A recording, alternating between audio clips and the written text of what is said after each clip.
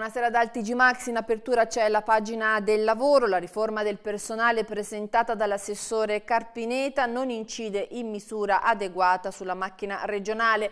La critica è della CISL che chiede al governo Chiodi di ridurre drasticamente i dirigenti di servizio e riorganizzare le filiere delle direzioni.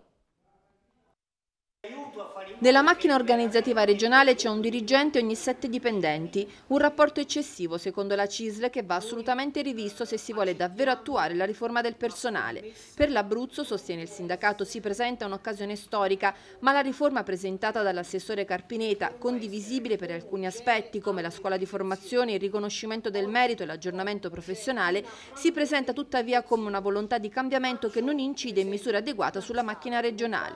Non siamo contrari alla riduzione riduzione della pianta organica, sostiene il segretario generale della Funzione Pubblica Abruzzo Vincenzo Traniello, ma prima bisogna procedere all'accorpamento degli enti strumentali della Regione attraverso la programmazione triennale dei fabbisogni.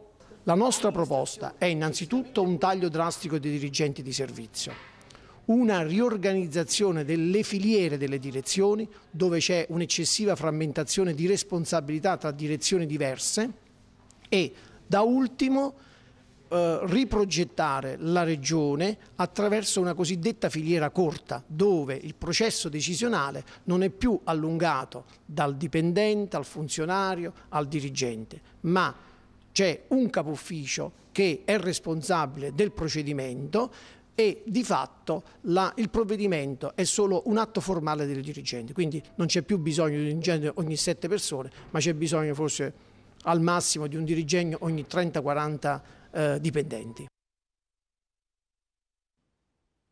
Riforma del lavoro, la CGL di Chieti ha proclamato tre scioperi territoriali. Tre scioperi territoriali nelle ultime quattro ore di lavoro di ogni turno e manifestazioni davanti a Sevel, Prefettura e Denso li ha proclamati la CGL di Chieti per dire al governo di occuparsi del lavoro e al Parlamento di migliorare il disegno di legge sul mercato del lavoro, recuperando la piena tutela dell'articolo 18, riducendo le forme di lavoro precario e assicurando un sistema di ammortizzatori sociali che diano a tutti la possibilità di accedervi. Domani saranno i lavoratori dell'area di Lanciano e del comprensorio Sangro Aventino a scioperare e a manifestare dalle 12 alle 14 davanti ai cancelli della Sevel di Atessa. Il 26 aprile i lavoratori lavoratori del Chietino Ortonese si asterranno dal lavoro e manifesteranno davanti alla prefettura di Chieti dalle 11 alle 13. Il 4 maggio infine sciopero dei lavoratori del Vastese e del Trigno Sinello che manifesteranno dalle 10.30 alle 12.30 davanti alla Denso di San Salvo. In provincia di Chieti la crisi continua la sua devastante azione sull'occupazione e sulla contrazione del reddito da lavoro, si legge in una nota della CGL di Chieti. Dai dati INPS elaborati dall'Osservatorio Nazionale CGL nel primo trimestre 2012, rispetto allo stesso periodo del 2011 crescono le ore di cassa integrazione, sia ordinaria per mancanza di commesse, sia straordinaria per ristrutturazione o chiusura di aziende. Netto calo invece delle ore di cassa integrazione in deroga con i lavoratori che ne beneficiavano finiti nelle liste di mobilità. È necessario che insieme al sindacato, conclude la nota, le istituzioni locali, la Regione Abruzzo e i parlamentari eletti facciano sentire la propria voce al governo affinché non resti sordo alla forte richiesta di lavoro e di sviluppo che si solleva da questo territorio come dal resto del Paese. La cronaca si è introdotto nell'istituto Sacri Cuori di via Don Minzoni a Lanciano rubando un televisore e poco più di 50 euro in monetine. In manette un romeno 39enne arrestato dalla stradale. All'interno dell'auto sono stati rinvenuti il materiale rubato, numerosi arnesi da scasso e una mannaia da macellaio. Il romeno deve rispondere di furto in abitazione, resistenza e violenza a pubblico ufficiale e porto abusivo di arma bianca. Secondo gli inquirenti il romeno fa parte di un gruppo agguerrito che dimora nell'Interland di Lanciano Lanciano dedito ai furti notturni in abitazioni, uffici pubblici e locali commerciali. E un arresto in flagranza è stato compiuto anche a Castelfrentano dai carabinieri che hanno sorpreso un albanese 32enne proveniente dal Casertano e senza permesso di soggiorno mentre tentava di entrare in un'abitazione dal balcone. A lanciare l'allarme un cittadino insospettito dai rumori. Nel corso della perquisizione personale i militari hanno rinvenuto il nottolino della serratura di un'altra abitazione in cui poco prima era stato compiuto un furto. Le indagini proseguono per l'identificazione di eventuali complici. Ergastolo con isolamento diurno e questa è la pena inflitta dalla Corte d'Assise di Teramo a Romano Bisceglia accusato di aver fatto a pezzi la sua ex convivente Adele Mazza nell'aprile di due anni fa.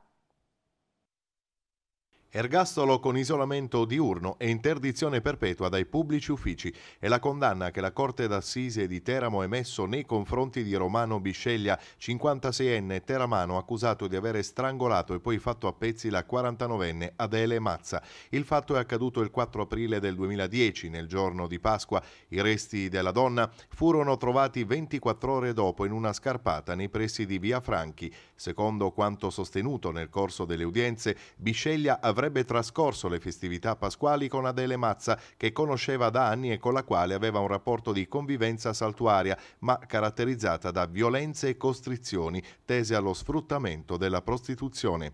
Un rapporto deteriorato, sfociato in un atroce delitto, perché, ha sostenuto l'accusa, la donna voleva affrancarsi da una vita fatta di sofferenza e degrado, strangolata con una corda dopo essere stata probabilmente tramortita e poi sezionata in cinque pezzi, riposti in buste di plastica e portati con un carrellino fino al fossato di Via Franchi per essere buttati e nascosti.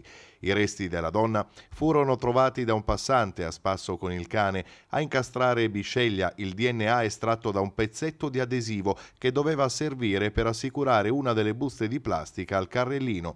Giustizia è fatta, hanno detto le sorelle della vittima. Adesso Adele può riposare in pace. L'ex sindaco di Lanciano, Filippo Paolini, è stato rinviato a giudizio per falso documentale abuso d'ufficio in concorso con un dipendente comunale. Il gruppo del Tribunale Frentano ha fissato il processo per il 3 dicembre. La vicenda riguarda il passaggio di un dipendente comunale, Luciano Di Corinto, dal settore ambiente alla Polizia Municipale, senza che lo stesso ne avesse titolo, con conseguente aumento di categoria contrattuale e relativa retribuzione. I pannelli fotovoltaici prendono improvvisamente fuoco, un'azienda che produce imballaggi in cartone è stata evacuata. L'episodio è accaduto in contrada Volpe a Mosciano Sant'Angelo, forse a causa di un cortocircuito i pannelli solari installati sul tetto del capannone hanno preso fuoco interessando l'intera struttura. I vigili del fuoco hanno lavorato diverse ore per mettere in sicurezza dipendenti e struttura. I danni sono ingenti. La festa del 25 aprile non deve essere celebrata come un rito ripetitivo, ma abbiamo il dovere morale di trasformarla in una occasione di profonda riflessione. Lo ha detto il Presidente del Consiglio regionale Nazario Pagano, presentando le iniziative promosse in collaborazione con Ampi Pescara. La festa del 25 aprile non deve essere celebrata come un rito ripetitivo, ma deve essere invece occasione di profonda riflessione. Bisogna trasmettere alle nuove generazioni il messaggio di coraggio e di speranza che tanti giovani di allora vollero mandare. Lo ha detto il Presidente del Consiglio regionale d'Abruzzo, Nazario Pagano, intervenendo alla presentazione delle iniziative promosse dal Consiglio regionale per la festa del 25 aprile in collaborazione con l'Ampi di Pescara. Tra queste c'è anche una rappresentazione teatrale dedicata alla Brigata Maiella dal titolo Banditen, i partigiani che salvarono l'Italia, che la compagnia dei Guasconi mercoledì alle ore 18 porterà in scena all'Auditorium De Cecco. Attraverso la rappresentazione teatrale si intende diffondere come i valori della democrazia e della libertà che i giovani della Brigata Maiella attraverso le loro azioni cercarono di divulgare sul campo siano interessantissimi e di grande attualità valori che oggi rappresentano i pilastri fondanti della festa del 25 aprile e della nostra Repubblica.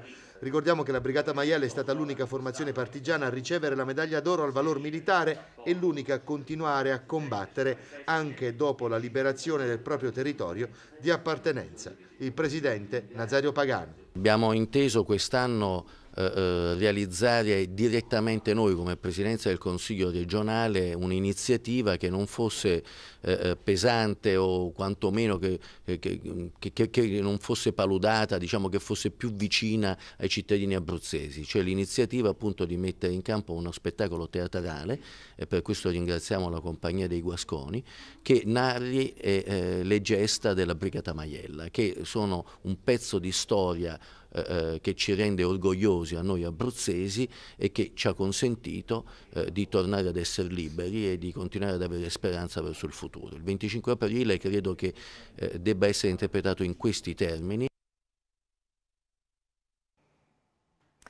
È morto nella notte al Policlinico Gemelli di Roma Romano Malavolta, presidente del Teramo Calcio dal 1997 al 2008. Malavolta, 42 anni, aveva superato diversi problemi di salute dopo aver subito un trapianto cardiaco nel 1997. Fu allora che acquistò il pacchetto azionario di maggioranza del Teramo Calcio che militava nel campionato di C2.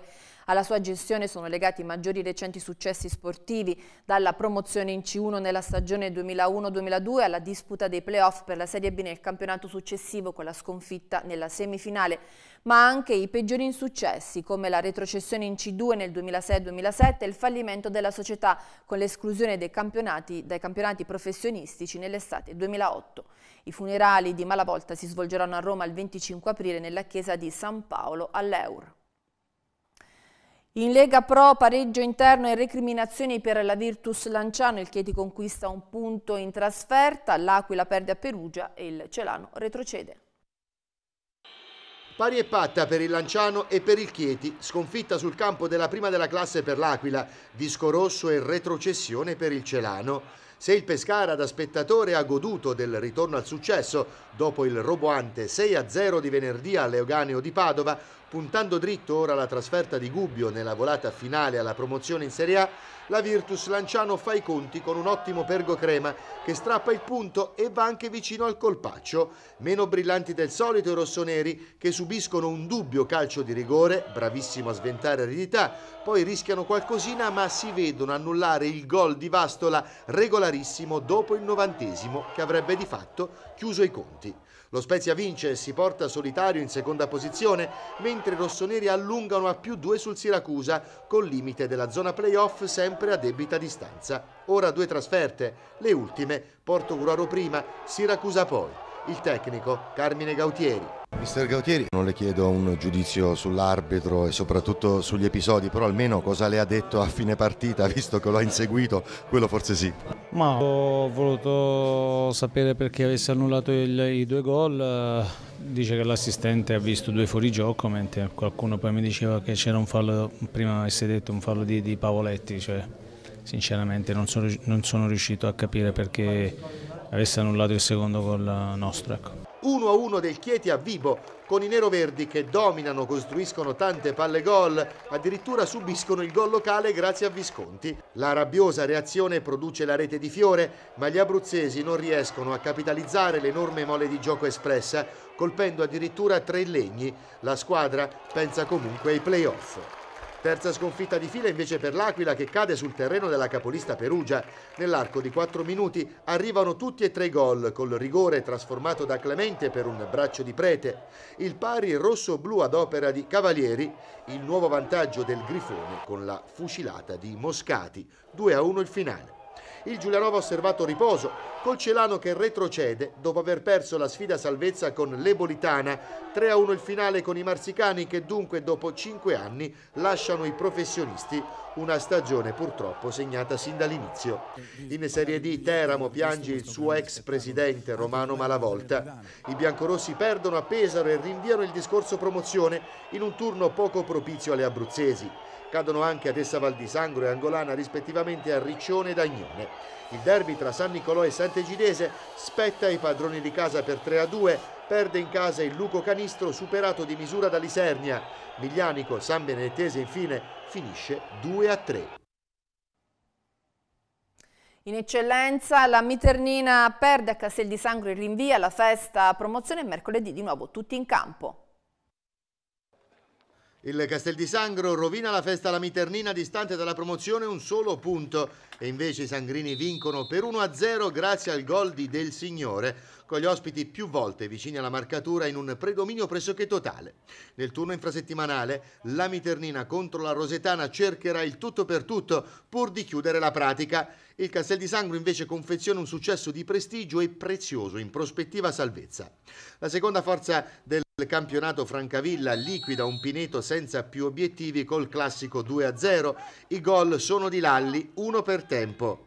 Tre punti d'oro anche per il Montori 88 che consolida il terzo posto e tiene a distanza il Sulmona. Il gol di Palombizio punisce così il Vastomarina che rimane fermo a quota 54, una sconfitta pesantissima per gli aragonesi. Bello il successo del Sulmona a San Salvo con un 4 2 2 che non ammette repliche, eppure gli adriatici erano passati sul doppio vantaggio grazie ad una doppietta di Marinelli, per poi crollare sotto tutti i punti di vista. Ovidiani in poker con Schiphol, Ruggeri e bis di reti con Sablone. Lo Sporting Tullum rivede nuovamente lo spiraglio playoff dopo aver regolato l'Alba Adriatica per 3-1. Forgione da Guanno portano i tollesi sul 2-0. Poi un'autorete di Palmarini consente il tris per i padroni di casa. Lo stesso Palmarini realizza il gol della bandiera allo scadere. Il Guardia Grele vuole la salvezza e travolge un capistrello ormai senza stimoli.